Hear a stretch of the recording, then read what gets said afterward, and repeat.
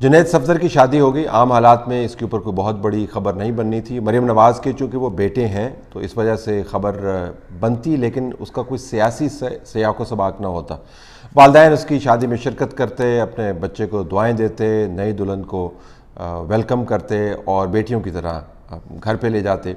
ये आम हालात हैं, लेकिन पाकिस्तान में जब शरीफ फैमिली का मामला आता है तो आम हालात भी ख़ास हालात बन जाते हैं।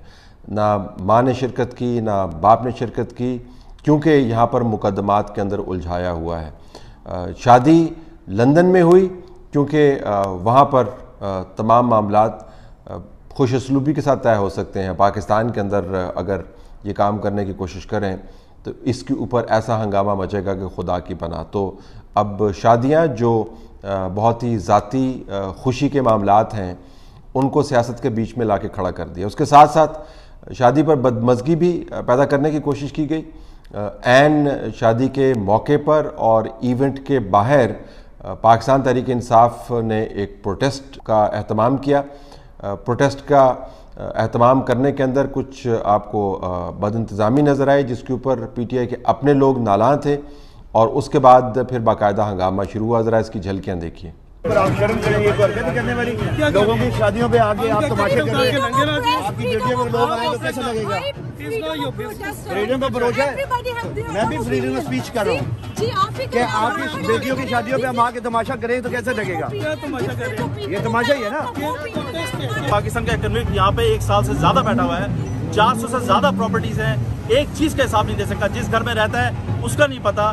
जिस बच्चे की शादी हो रही है उसका बाप कहता है अपने मुझसे कि पंद्रह सौ रियाल महीना तनख्वाह है। चंद दोस्त आए हैं इधर सिर्फ़ प्रोटेस्ट करने जैसे कि ज़फ़र ने बोला है कि चोरी का पैसा इधर हम सिर्फ़ अपनी आवाज़ बुलंद करने आए हैं। फ्रीडम ऑफ़ स्पीच है इस कंट्री में। मैंने क्या सिर्फ़ इमरान खान में होती किसी ने गाली नहीं की थी। इमरान खान जिंदाबाद बस। हाईली कंडेम करता हूँ पाकिस्तान तहरीक इंसाफ लंदन की सारी इंतजामिया पूरी तंजीम के तमाम मेम्बरान के बजाय ये कि ये कॉल जो है वो उनके ग्रुप पर दी गई थी। Each and every person of P T I knows we can be here five o'clock तो अब तो ये वाज हो गया है कि पाकिस्तान तहरीक इंसाफ ने ये फ़ैसला कर लिया है कि शादी हो या मौत हो मुकदमा हो, या रिहाई हो सियासी जीत हो, या सियासी हार हो ऐसे हालात पैदा करने हैं कि ज़मीन तंग कर देनी है।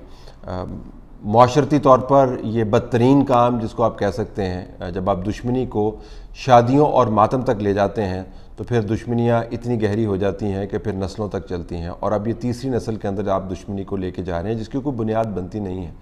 अगर शादी का मौका है तो एक इंतहाई प्राइवेट अफेयर है, यहाँ पर हर रोज़ अपनी प्राइवेसी के तहफ़ के लिए आप निज़ाम को अपना मातहत बना लेते हैं।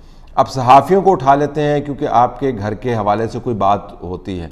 आप लोगों के ऊपर जबर करते हैं और तमाम मीडिया इंडस्ट्री को मैनिपुलेट करते हैं, ये कहने के लिए कि ख़ास किस्म का एक इमेज बिल्ड किया जाए हमारे घर के हवाले से। और वहाँ पर घरों के अंदर शादियाँ होती हैं तो लोग भेजे जाते हैं कि बाहर जाके आप एतराज़ एतराज़ करें, वहाँ पर एहतजाज करें और वहाँ पर गालम गलोच हो। आप ये कह सकते हैं कि गालम गलोच के अंदर दोनों पार्टियाँ शामिल थी। उसकी तरफ़ से भी गालम गलोच हो रही थी, इनकी तरफ़ से गालम गलोच हो रही थी धक्कम पेल हो रही थी। बुनियादी बात यह है कि गालम गलोच किसी भी तरफ़ से हो रही हो, उसको कंडेम करना चाहिए। प्रोवोकेशन जो है, उसको अवॉइड करने की ज़रूरत थी। किस हकीम ने कहा था? अगर हमें पता है कि किस हकीम ने कहा था, लेकिन वैसे महावरतन कह रहा हूँ कि किस हकीम ने कहा था कि इन मौाक़े के ऊपर जाकर आप वहाँ पर बदनज़मी फैलाएँ। शादियों के मौके जो हैं बड़े नाजुक किस्म के होते हैं। वहाँ पर नाजुक रिश्ते जुड़ रहे होते हैं और ख़ुशी और हंगामे के अंदर या बद इंतज़ामी के अंदर एक बहुत छोटी सी लकीर जो है वो हायल होती है। तो आपको हज़ारों लोग ले जाने के लिए किसी खुशी के मौके को खाक करने की ज़रूरत नहीं है। दो चार बेवकूफ़ लोग ही काफ़ी होते हैं। वो रिश्तेदार भी हो सकते हैं और वो एहतजाज करने वाले भी हो सकते हैं।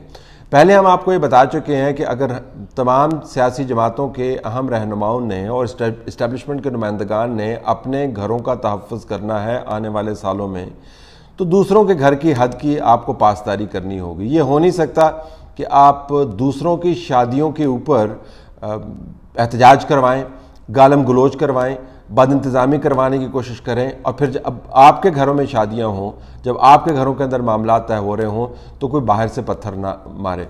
तो अब ये पत्थर मारने के, अब तो ये तय हो गया कि पत्थर तो अब आएँगे और हर तरफ़ से आएँगे। ज़ुबान सबके पास है, हाथ सबके पास हैं, सर सब का घूम जाता है और जब आप इस हद तक दूसरों की कमर दीवार के साथ लगा देते हैं तो उसका रद्दमल आएगा। इससे पहले घरों के ऊपर बंदे भेजे गए घरों के बाहर हमले करवाए गए, दरवाजे तोड़ने की कोशिश की गई। जब यहाँ पर पाकिस्तान में अदालतों में मरीम नवाज़ और नवाज़ शरीफ आते थे तो वहाँ पर बाकायदा बंदों को डिप्लॉय किया जाता था नारे लगाए जाते थे। मरीम नवाज़ के ऊपर फ़िज़िकल हमले करने की कोशिश की गई। जेल के अंदर उनको बदतरीन जहनी और जिसमानी तशद का निशाना बनाने की कोशिश की गई। ये तमाम डॉक्यूमेंटेड है। बहुत सारी स्टोरीज अभी बाहर नहीं आई, लेकिन तमाम की तमाम चीज़ें डॉक्यूमेंटेड हैं। जब आप इस किस्म का रवैया रखेंगे तो आपका क्या ख्याल है कि आपके साथ ये हाथ नहीं होगा? ये बिल्कुल हाथ होगा।